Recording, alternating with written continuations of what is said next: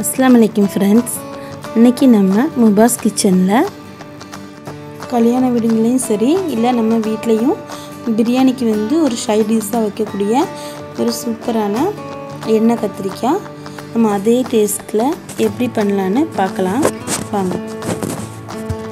இப்போ நம்ம வந்து தேவையான இன்க்ரீடியன்ஸ் எல்லாம் பார்த்துடலாம் இதில் வந்து அரை கிலோ கத்திரிக்காய் எடுத்திருக்கேன். நமக்கு இந்த மாதிரி சின்ன சின்ன கத்திரிக்காவாக இருந்தால் நல்லாயிருக்கும். முழுசு முழுசாக போடுறதுக்கு அழகாக இருக்கும் பார்க்க. இந்த மாதிரி நம்ம கீரி எடுத்துக்கணும். அப்போ தான் உங்களுக்கு ஒன்று போல் நல்லா அழகாக வேகும். வெங்காயம் வந்து ரெண்டு வெங்காயம் கட் பண்ணி எடுத்திருக்கேன். கொஞ்சம் கொத்தமல்லி இலை கருவேப்பிலை மூணு பச்சை மிளகா ஒரு தக்காளி கட் பண்ணி எடுத்து வச்சுருக்கேன். அப்புறம் புளி வந்து ஒரு நெல்லிக்காய் சைஸ் நமக்கு தேவையான அளவு சேர்த்துக்க வேண்டியதான் எள்ளு அப்புறம் வந்து வேர்க்கடலை. இந்த ரெண்டு தான் நம்ம வந்து வறுத்தெடுக்கணும். வேர்க்கடலை ஒரு ஐம்பது கிராமும் எள்ளு வந்து ஒரு டூ டேபிள் ஸ்பூன் எடுத்திருக்கேன். வெள்ளை எள்ளாக இருந்தால் நல்லாயிருக்கும்.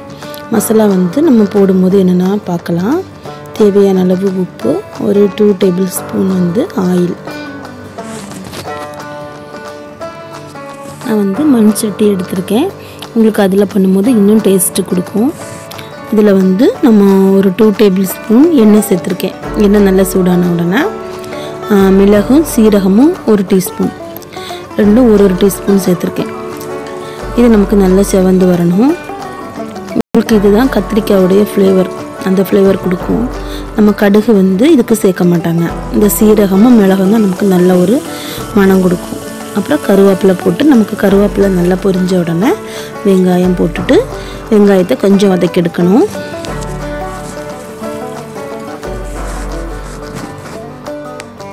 இப்போ நமக்கு வந்து ஓரளவுக்கு வெங்காயம் வதங்கிட்டு பச்சை மிளகாவும் நமக்கு தக்காளியும் வந்து போட்டுடலாம்.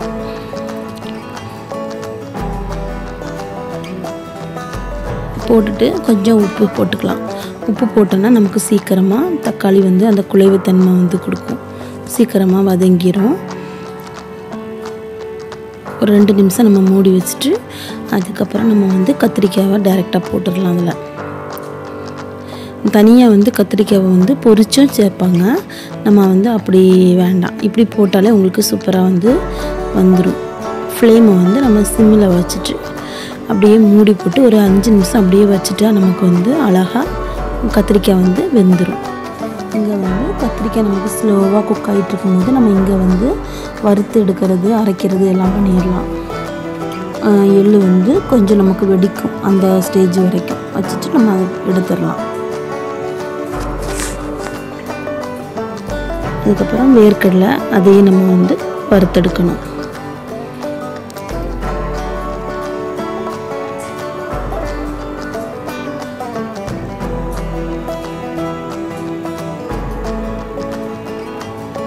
நமக்கு வறுத்து சேர்க்கும் போது அந்த ஃப்ளேவர் வந்து நல்லா இருக்கும்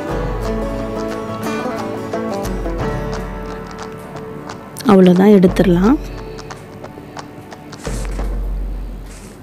இப்போ நம்ம அரைச்சிடலாம். இதில் வந்து ஒரு ரெண்டு பீஸ் தேங்காய் வந்து கட் பண்ணி போட்டிருக்கேன்.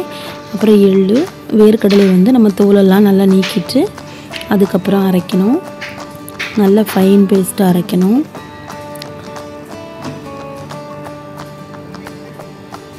இதே மாதிரி நம்ம அரைச்சி எடுத்துடணும்.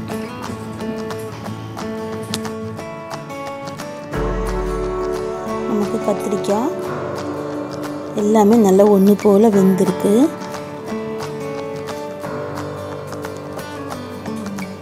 இதில் வந்து ஒரு அரை டீஸ்பூன் வந்து மஞ்சத்தூள் அப்புறம் தனி மிளகாய் தூள் வந்து ஒரு ஒன்றரை டேபிள் ஸ்பூன் சேர்த்துருக்கேன். நம்ம காரத்துக்கு தக்கன சேர்த்துக்கலாம். கொஞ்சம் புளி சேர்த்துருக்கேன். புளி வந்து ரொம்ப புளிப்பு இருக்கக்கூடாது கரெக்டாக இருக்கணும். நம்ம பார்த்துட்டு ரெண்டாவது கூட சேர்த்துக்கலாம்.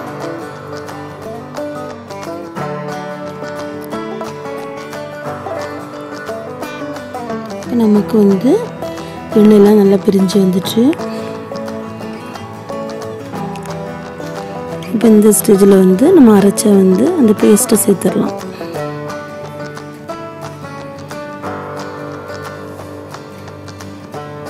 இது வந்து ஒரு திக் பேஸ்ட்டாக தான் இங்கே இருக்கும். நம்ம வந்து நல்லா இந்த ஜார்லாம் நம்ம கழுவி அந்த தண்ணியே சேர்த்துடலாம். உங்களுக்கு வந்து போக போக இது வந்து நல்லா திக்காகிடும் அதனால் நம்ம வந்து ரொம்ப திக்காக இருந்தாலும் நல்லா இருக்காது. அதனால் நம்ம வந்து ஓரளவுக்கு கொஞ்சம் லிக்விடாக தான் செய்யணும். ரொம்ப லிக்விடாகவும் இருக்கக்கூடாது.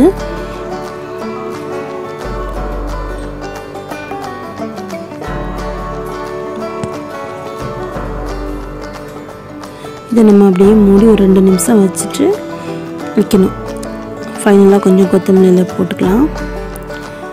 அப்படியே ஒரு ரெண்டு நிமிஷம் நம்ம வச்சிட்டோன்னா நமக்கு ரெடி ஆயிரும்.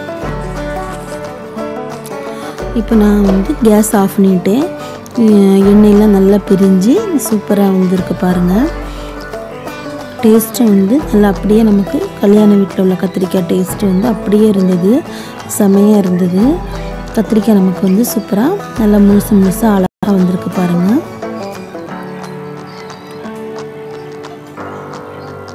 கண்டிப்பாக நீங்களும் ட்ரை பண்ணுங்கள் இந்த வீடியோ பிடிச்சிருந்தேன்னா லைக் பண்ணுங்கள் இது வரைக்கும் நம்ம சேனலை சப்ஸ்கிரைப் பண்ணலன்னா சப்ஸ்கிரைப் பண்ணுங்கள் இன்ஷால்லா வேறு ஒரு ரெசிபியோட பார்க்கலாம்.